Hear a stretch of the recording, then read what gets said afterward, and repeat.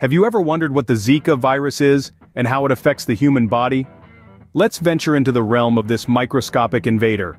Originating from the Zika forest of Uganda, the virus was first isolated in the late 40s, but it has since spread to various parts of the world, causing global concern. This tiny culprit is primarily transmitted through the bite of an infected Aedes mosquito, the same kind that carries dengue and chikungunya. The Zika virus, however, has a unique trait. It can also spread from a pregnant woman to her unborn child, causing serious birth defects. Though most infected individuals exhibit mild symptoms like fever and rashes, the impact of this virus can be far-reaching, affecting societies and health systems alike. It's a mystery wrapped in scientific jargon and public fear, a puzzle that researchers worldwide are striving to solve. Now that we've set the stage, let's delve deeper into the nature of this virus. What does the Zika virus do to the human body, and how can you tell if you've been infected? These are questions that become vital when faced with an invisible enemy like the Zika virus. Let's start with the initial symptoms. Most people infected with the Zika virus won't have symptoms, or will only have mild ones. The most common symptoms include fever, rash, joint pain or conjunctivitis, also known as pink eye. These symptoms can last for several days to a week after being bitten by an infected mosquito. Now here's the tricky part. These symptoms are similar to those of many other diseases making it quite challenging to identify a Zika infection just by looking at the symptoms. Now this is where it gets a bit scary. Zika infection during pregnancy can cause a birth defect of the brain called microcephaly and other severe brain defects. It is also linked to other problems such as miscarriage, stillbirth, and other birth defects. And the long-term effects? The truth is, they're still not entirely known. While the immediate symptoms of Zika are generally mild, the potential for long-term neurological problems in adults has been suggested in some studies. However, more research is needed to fully understand these potential effects. Let's talk about the incubation period. The incubation period is the time from exposure to the onset of symptoms. For Zika, this period is estimated to be from 3 to 14 days.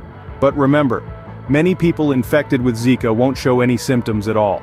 So how can you tell if you've been infected? The best way is through a blood or urine test. If you've recently traveled to an area with risk of Zika and have experienced any of the symptoms we've mentioned, it's recommended to get tested.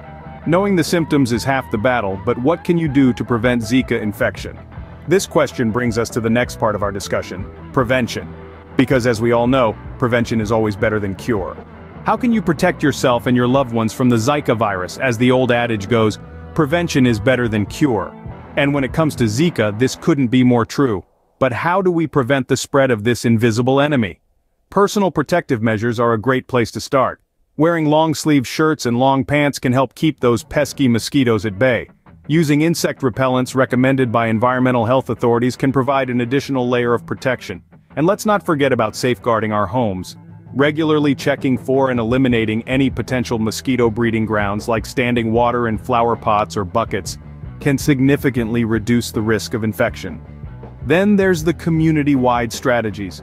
Governments, health organizations and communities can work together to implement measures such as mosquito control programs and public health awareness campaigns. These collective efforts play a crucial role in reducing the overall risk of Zika transmission. Importantly, early detection is key. If you or a loved one are experiencing symptoms such as fever, rash, joint pain or red eyes, seek medical help immediately. Early diagnosis can lead to better management of symptoms and can help prevent further spread of the virus. So, yes, we can protect ourselves and our loved ones from the Zika virus. It takes a bit of effort, a bit of knowledge, and a bit of community spirit. But it's absolutely worth it. Remember the best way to fight the Zika virus is to prevent it. So, what have we learned about the Zika virus? We've unraveled the mystery of this invisible enemy, revealing it as a disease transmitted primarily by mosquitoes. We've recognized its symptoms, which include fever, rash, joint pain, and conjunctivitis. Most importantly, we've understood that prevention is our best defense. Eliminating mosquito breeding grounds and wearing protective clothing can go a long way. Armed with this knowledge, you're now better equipped to protect yourself and others from the Zika virus. Knowledge is power after all.